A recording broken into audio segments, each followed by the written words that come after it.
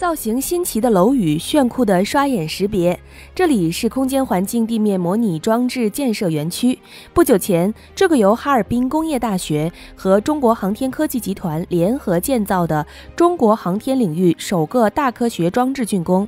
未来许多需要抵达太空才能进行的实验，在这里就可以完成。为何要建地面空间站？它的建成投用对于中国航天事业发展有何助力作用？本期影片就跟随着小编的视野，我们一起走进哈尔滨工业大学，开启奇妙的地面空间站之旅。大家好，欢迎来到星球热点，国家大事从不缺席，舆论场中抽丝剥茧，聚焦独家中国资讯。点赞加关注，带你用不一样的视角读懂中国故事。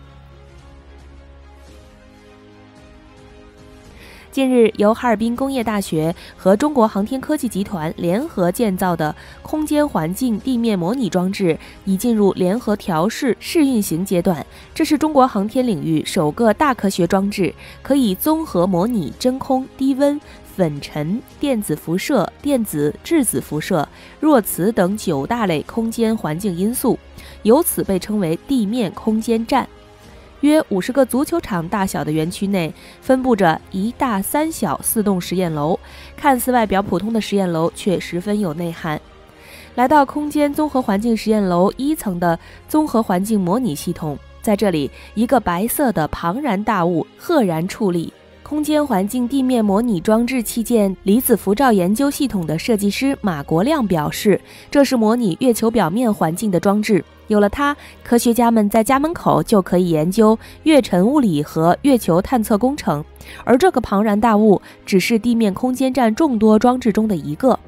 建一座包罗万象的地面空间站有多难？可以综合模拟九大类空间环境因素，具有国际领先水平的空间环境地面模拟装置，从提出建设概念到实施建设就花了十余年的时间。大到整座建筑的功能设计，小到一颗颗螺丝钉的材质，都凝结着设计师和哈工大科技工作者们的巧思、热情和想象力。哈工大大科学工程常务副总指挥、常务副总师、空间环境与物质科学研究院院长李立义说。空间环境地面模拟装置就是要在地球上建设一个与真实宇宙空间环境相似的地面空间站，相当于把空间站搬到地球上。空间环境地面装置模拟器，未来航天员们还可以在这里体验和适应月球、火星等星球的表面环境。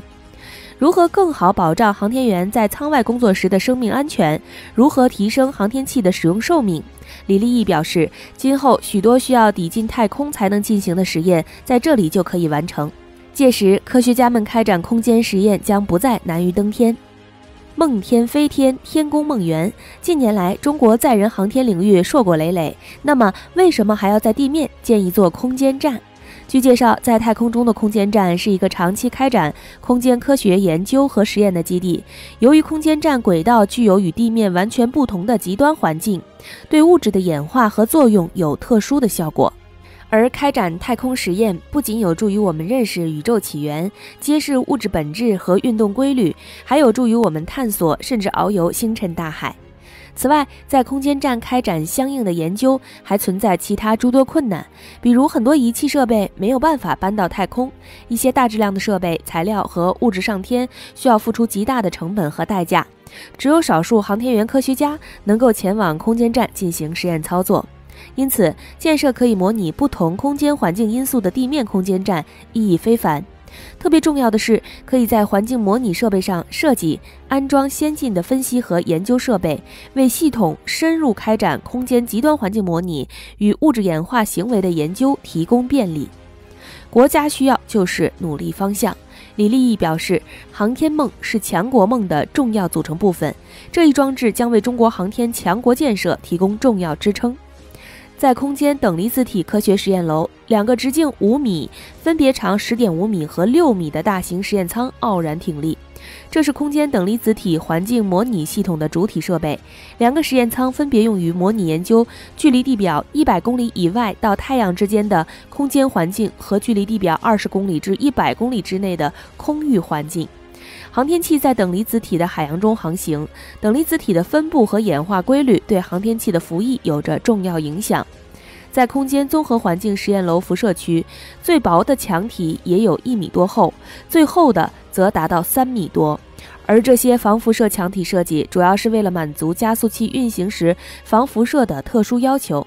在这个实验楼里，有系统级综合辐照试验舱、月尘舱、火星尘舱、高速粉尘舱等四个巨型金属装置。这些需要仰望的大块头，看似平淡无奇，实则同样有内涵。空间综合环境模拟系统副研究员李立芳表示。这是空间综合环境模拟分系统，用来模拟太阳系的真空、太阳和紫外电子辐射等典型环境因素，将为中国载人航天、深空探测、空间站建设等重大工程提供世界领先的科研平台试验标教环境，解决高性能航天材料和器件等卡脖子问题。小编了解到，空间环境地面模拟装置早在2005年开始调研、分析和系统论证，经过相关领域科学家和有关部门反复论证、审慎决策，于2017年底开始动工建设，目前已基本建成，进入试运行。李立义介绍，在这里，科研与建设实现了同步推进。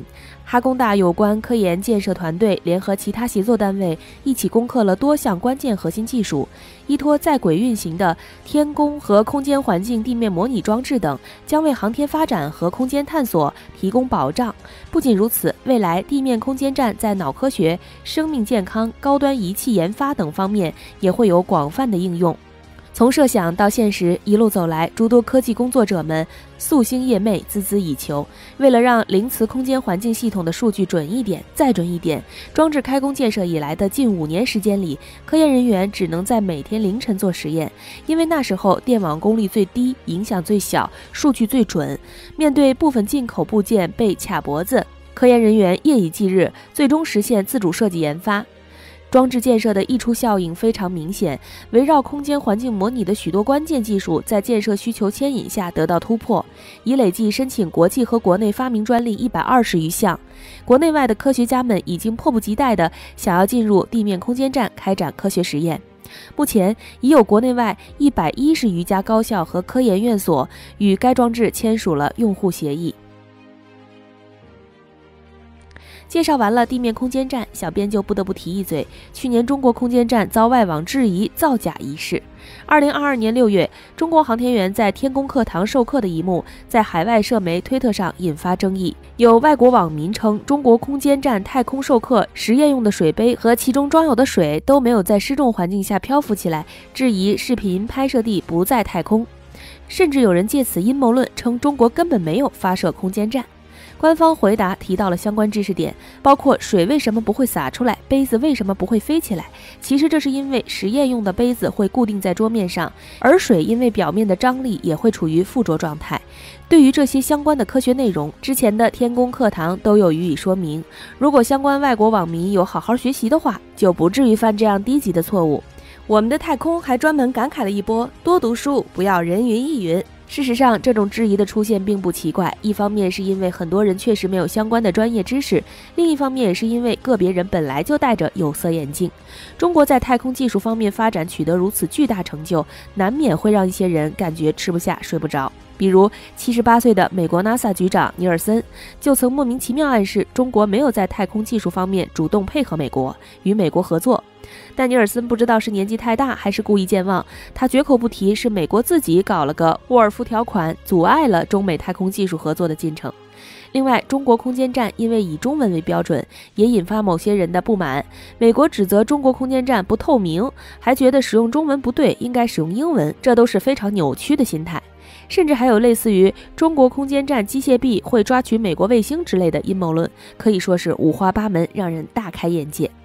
如今中国地面空间站投入使用，那些带有高傲自大偏见的老外灰溜溜的请求加入，估计心里肯定不是个滋味吧。好啦，今天的内容到这里就结束了，对此你怎么看？欢迎在下方留言互动。如果你喜欢小编的影片，还请大家多多点赞转发，让更多的人一起见证中国进步。关注我的频道，这样既能回顾往期视频，又不会错过之后的精彩内容。那我们下期节目不见不散。